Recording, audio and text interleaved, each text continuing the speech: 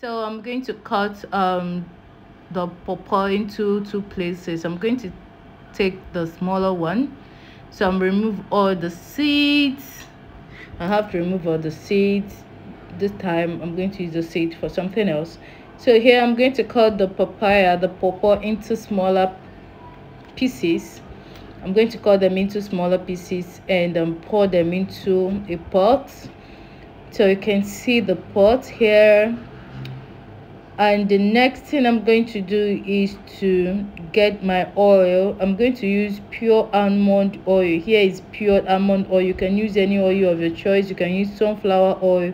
But i'm going to use pure almond oil for this. So i'm going to pour it inside the pot. This is my please manage my small industrial room. So this is i'm going to pour everything. So i'm going to cook this for like 10 minutes on a low heat. I'm going to cook it like 10 minutes on a low heat. Remember this is um pure almond oil i'm using. I'm going to cook it in low heat. And um so i have to check it every two minutes to make sure it doesn't burn.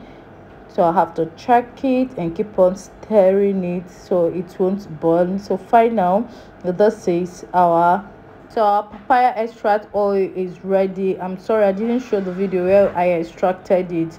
Um i had um important call an appointment with the customer in the office. So i have to rush to attend to the person. I hope you enjoyed my video